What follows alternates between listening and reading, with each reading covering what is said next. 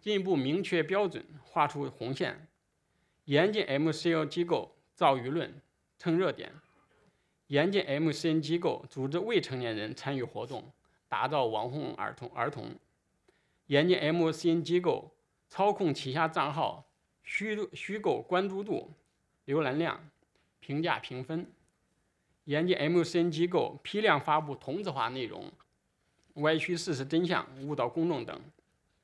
这个我们也在调研的基础上啊，正在研究呢，